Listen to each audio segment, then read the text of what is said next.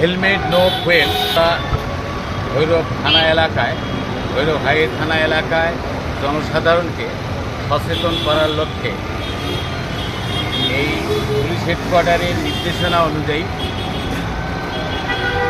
No helmet no fuel এই স্লোগানকে কার্যকরী করে জনসাধারণকে সচেতন করার জন্য আমরা লিফলেট সহ বিভিন্ন ধরনের পোশাক করতেছি এবং আপনারা দেখতে পাচ্ছেন যে আমরা ব্যানারও লেগে দিয়েছি এটা পাম্পে পাম্পে পাম্পের মালিকদের সাথে, কর্মচারীদের সাথে কথা বলেছি যে হেলমেট নাইন চার তেল নাইন চার অর্থাৎ no helmet no fuel helmet ছাড়া কেউ তেল দিবে না।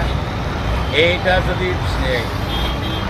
পেট্রোল পেট্রোল পাম্পের মালিক, কর্মচারীরা যদি সহযোগিতা করে, তাহলে আমাদের বাংলাদেশের সকল নাগরিক যারা হেলমেট ছাড়া চলেন, এটা করার থেকে অভ্যস্ত হবে। এবং কোনো দুর্ঘটনা হলে এখানে যে প্রাণহানির সংখ্যাটা অনেকাংশে কমে আসবে। এই জন্য আমাদের পুলিশের প্রধান স্যারের নেতৃত্বে আমরা কাজ করে যাচ্ছি।